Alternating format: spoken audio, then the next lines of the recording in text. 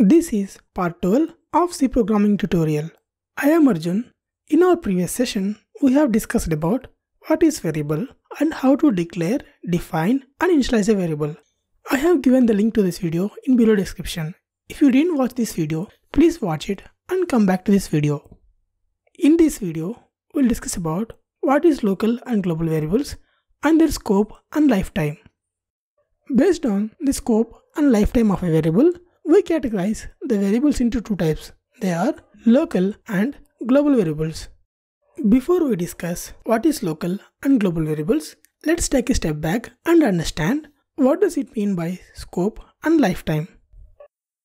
Scope tells about visibility, whereas lifetime tells about durability of something. Let me show an example. Notice here we have two things. One is an Eiffel Tower and other is a small building. When I speak about scope, that is visibility, the visibility range of this Eiffel Tower is around 70 kilometers, whereas the visibility range of this building X is around 1 kilometer. So we can say that the scope of this Eiffel Tower is just 70 kilometers, whereas the scope of this small building is around 1 kilometer, meaning if you go out of this scope, these things are not visible to you. Coming to lifetime, the durability or expiration time of this Eiffel Tower is around 200 to 300 years, whereas coming to this building X, it is around 70 to 100 years, meaning beyond this lifetime, these buildings may not be present. Remember, scope tells about visibility, whereas lifetime tells about durability. Now, let's discuss about what are local variables. Variables that are declared inside a function is called local variables. The scope of these local variables is throughout the block and the lifetime of these local variables is throughout the function. Let me write a simple example to understand much better about local variables. Open your CodeBlocks IDE. Let me declare a variable here. Let's say the name of this variable is value and its data type is int. As I said earlier, if we declare a variable inside a function, then it is called a local variable. So we can say that this variable is a local variable and the scope of this local variable is throughout the block, meaning we can access this local variable from inside this block. If you try to access this local variable from outside this block, then we'll get a compilation error. Let's see an example. Here, I'm going to create a new block and I'm declaring a variable inside this block. Now, I'll try to print this variable inside this block. Let's see whether we are able to access this or not. Compile and execute the program. See, we didn't got any compilation error here. Now, let me try to access this variable from outside of this block. I am moving printf statement to outside of this block. Compile and run. See, we got a compilation error here. Here, the error is variable undeclared, meaning we have not declared this variable. This is what compiler is telling us. But we have declared this variable, right? Being a local variable, the scope of this variable is inside this block. So if we try to access this variable from outside the block where we declared it, then it will throw an undeclared error. Coming to the lifetime, the memory will be allocated for this local variable when the execution of this function gets started. And it becomes invalid once we finish the execution of this function. Now, let's see what does it mean by global variable. Variables that are declared outside of a function is known as a global variable. Without any storage class specifiers, the scope of this global variable is throughout the file. Meaning, we can access this global variable from all the functions in a file which we declared it. And the lifetime of this global variable is throughout the program.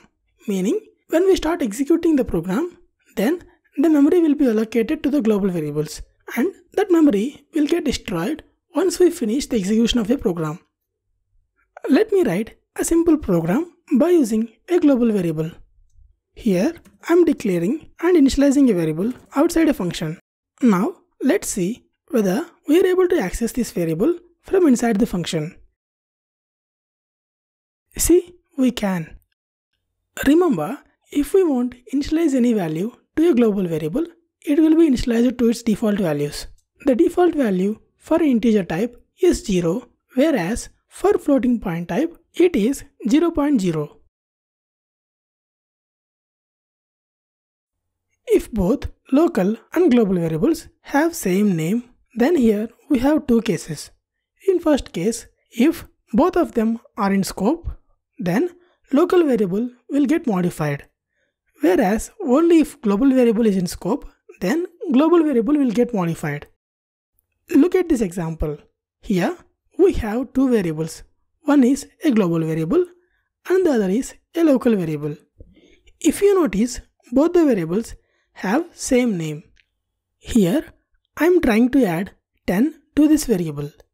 Now which variable will get modified? Local or global?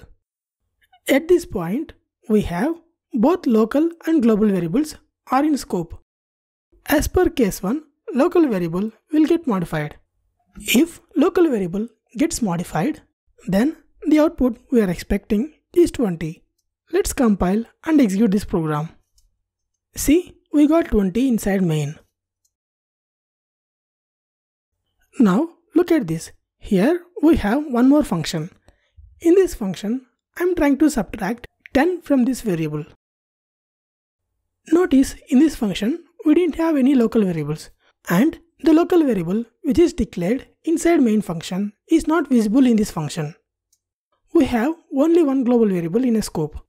As per case 2, if we don't have any local variables in scope, then global variable will get modified. So the output we are expecting is minus 10. Let me print this value.